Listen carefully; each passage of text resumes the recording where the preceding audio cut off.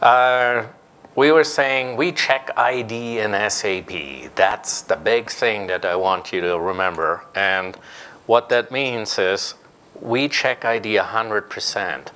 But what is it for? Well, as per my story earlier, uh, we started with the logon simply because a customer challenged us to do that, and we worked on this solution and did a complete two-factor authentication to log on to SAP. But then we quickly evolved what the Consol, uh, Johan, that was actually excellent presentation, really good. I didn't know really everything you were doing, but uh, it was good. Um, enjoyed it.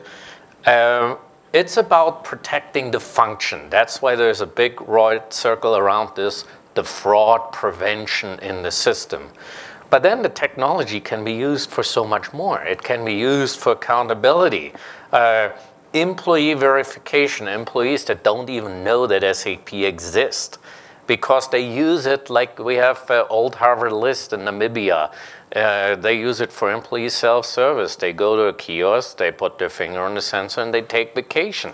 It is that simple. No more filling out paperwork. We can use it for time and attendance. We can use it for medical checkups. We can use it for equipment checkout. Or one cool thing that we just did in Brazil is the company, very simple manufacturing. They hand out a hard hat and uh, the guy doesn't put it on and he gets hurt. And then he sues the company. He says, I never got my hat. Well, he checked it out of SAP. Well, prove me that you gave it to me. Well, now they prove it to them. Hold your hand over the scanner and we know we have the proof. So a lot of cool parts. Or what we talked about, NSSA. Now we can further uh, use the bioLock to identify the customers inside the system. And it's about the it could be anything from social security beneficiaries to bank customers to university students. All these students take tests, and what do they do? I'm not good at math, so I send in my roommate. My roommate's much better, takes my ID, takes the test for me, I get an A. Wonderful. Uh, a lot of universities lose the accreditation in the United States right now, so they're all going to biometrics to prevent that. So we were talking uh, earlier about the logon. We all saw the password, the shoulder surfing. It's on the sticky note. Here's actually the screenshot what I was talking about earlier. The backspace window. It shows the three people that logged in on that computer, and it shows the one guy that didn't have his coffee, and he typed in password. Now I matched the password to one of the logon IDs, and I'm in. It's wonderful. It's that simple. Uh, key areas. Obviously, it works for everything in SAP, but the key areas, like uh, Johan was talking about, finance, that's the big deal. HR, we see a lot of interest because there are a lot of lawsuits, a lot of violations, a lot of compliance regulations. We see a lot of interest in sales and distribution. That's where things disappear and where money is being lost. And then, of course, materials management, but not to underestimate. And that was great that, that uh, they actually know about this. The actual administrators, the consultants, that's actually one of the biggest parts is that the consultants can cause a lot of damages because they get all the access they want because they need to maintain the system. So what does it look like actually in bioLock itself when we protect something? Well, you can protect any function you want. And you can do it as simple uh, the, you don't even need to know ABAP. You go in the bioLock configuration, you type SE50, SE16 or SE38 or PA20 and you hit save and it's protected. It's that simple. Uh, it's kind of like flying a jumbo jet. You have all these buttons when you walk in the cockpit. They only need a few of them to fly the thing. The, uh, the rest is just for additional stuff, but you have the options. Like, for example, protecting info types or protecting individual tables in SAP or all the way down to the value level. Uh, the, the, one of the oldest central banks in the world has been using this for 10 years and they had a very simple requirement. If it's less than 10,000 euros, everybody with SAP authorization whoop, goes straight out. If it's over 10,000 euros, narrow it down to a selected group of people and they need to provide the biometric credentials.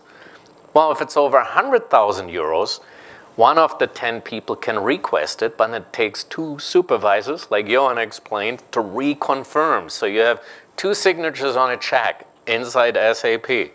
and then the money goes out.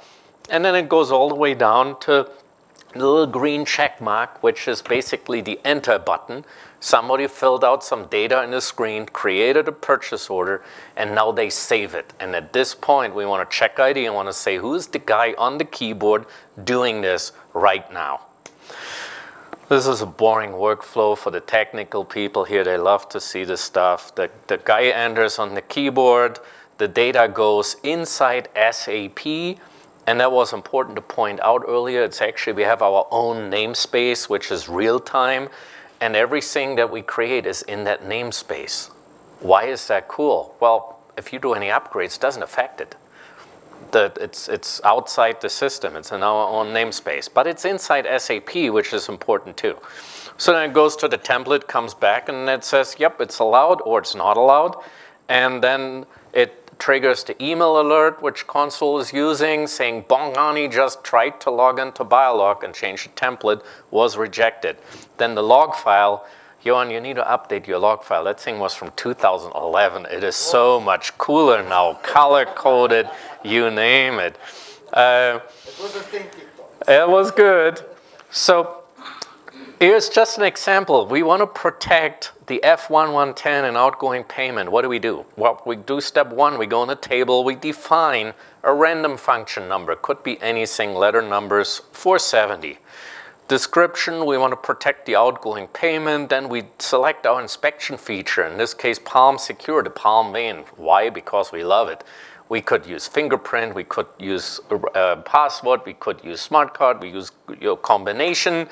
And in the future, if any of you came and said, we really want this, but I'd really prefer to have the laser going in my eye to scan my, uh, my retina, okay, well then we'll talk about the integration. It's not a big deal. Then we specifically invite people or whitelist people. Well, why is that important? Well, think about it this way. Your administrator has access to an outgoing wire transfer because he had access to everything. He might also have a biometric template because he does a lot of testing. Do we want him to do an automated wire, uh, our wire transfer? No. So we specifically invite people. Then we go on the next uh, table there the, in the center and we just type in the F1110 is now assigned to the function 470. And we save it and we're done. And then we take the last step because we don't want administrators or consultants or somebody else in. I want to know exactly what's going on. So now I say that function 470 can only be executed by Mr. Smith and by Werner. And now for the first time, I can guarantee the CEO that Smith and Werner are the only two people in the world that will ever execute the F1110. And that's a very powerful message, and we get to that here in a second if Werner gives us the time. Uh, so now we can easily define, if we go deeper than this, we can't, the transactions, the info types, we can do it via configuration. It takes minutes to protect a couple transactions. But now we go a little deeper they want the little checkmark protected. Now we need to pl place a biometric checkpoint in the ABAP code. Any normal ABAP programmer can do it. If not, Bongani can do it, probably with his eyes closed. Put the code in, define another function number 471, define the protection, and then it's done. Uh, that easy. So more important, how does it look for the user? No different than before. They still type in their F1110, the only thing that happens is the little thing pops up and they hold their hand over it or put the finger on the sensor and then it continues the way it did before or it will kick them out and say, ah, you're not allowed.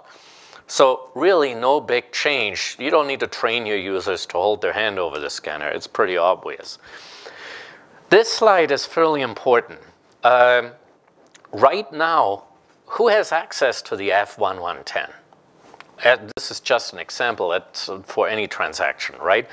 It could be the intern because she gets rules assigned all day long and never taken away. She actually has SAP all by the time her internships is done. We have seen it many times. Uh, then the secretaries, they have, they have passwords to all the executives and they have all the rules. Even they don't need them, but they are executives, so they have to have all of it, right? Uh, and then we have the colleagues that share password. I'm going on vacation, Bongani. It's password one. Just log in, do my stuff. So I don't. I'm don't have to work too much when I come back. But more important, it really is the SAP consultants. It's the Linx/AS, it's the Accentures, the IBMs, the Price Waterhouse, the guys that come in and do the work that gets all the access. They have no loyalty, they're gone in a month anyway, and they have access to everything. Of course, you remember Snowden, and then we have the hackers that we talked about. So long story short, after we put the bioLock ID check in place, and we invite Thomas Smith and Werner to be the only two people in the world to access that function. For the first time, we can guarantee the CEO that all the other guys are out, which gives us a massive amount of control that we don't have right now. But it also gives us something else, which makes it actually really, really cool. We don't have to worry about rolling all this out to all our thousands and thousands of users. So as per example, if you have a thousand named SAP users in your company and we sit together and we say, what are your pain points? You want to work with finance, HR. We start out and we say, there is the top 20 functions that we want to protect. So, okay, then let's sit back and, and find out how many people need to have access to those protected functions. Is it 150? Is it 300? Is it 200? For sure, it's not a 1,000.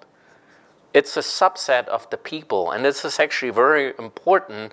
We're talking about enforcing the least privileged access is a, a big thing right now. Enforcing the least privileged access can easily be done with the bioLock technology. And what that means is you don't need a thousand devices. You might need 200, maybe 300 until you roll out further. But to get started, you just have to have a few devices deployed. And the important part is you have an active protection for those 200 users, but you have a passive protection for the 800 users as well, because none of them will ever get in, including the hackers and all the bad guys and everybody else. And here is the beautiful log file that we need to make sure that the Consol has access to. It's beautiful color-coded. What you showed was the SAP log file, but that's actually really important. All the data that we write go into the SAP log file. So if you have a third-party auditing tool, you can pull it all out. But that log file is actually much cooler because you can search and say, show me everything that Bongani did the last month. Ooh, interesting, got rejected many times. Or, um, and that's where you can also set the, the, the things, but it's where you can say if somebody gets rejected, this guy gets an email, but if a purchase order gets approved, we could send an email directly to the vendor to make sure that they know it got approved. So it could actually become part of the process. But here it's very important to see that the, just to give you the example at the, the second one, uh, or the first one down, Matthias, uh, a hacker actually tried to access the director of finance and create that automated payment. And you see that the lines behind it are empty. Why is that? Well, obviously we don't have a biometric reference template for this hacker who comes in from somewhere in Eastern Europe, but doesn't matter, we rejected it anyway. So the mission was accomplished. Just to reiterate, we have talked about it, say we can cover everything in SAP, and we know SAP is big. We have 25 different vertical markets. Uh, you can run an airline. You can do anything in SAP. And it doesn't matter if it's HANA or whatever it is, the core or if it goes in the cloud, it's on premise. As long as it is an ABAP-based SAP system, we are right at home because we will be installed wherever your SAP is installed, right inside the SAP. And with that, uh, real quick, I want to jump. We can talk about this uh, offline here. These are the beautiful kiosks that you see outside. Here's actually, I think that is Bongani standing in Transnet in front of a kiosk. Uh, Transnet has rolled it out across Africa to build uh, over a thousand locomotives. And then here is the NSSA case study. But we can talk about this. I want to take uh, time to give you a really brief demo here.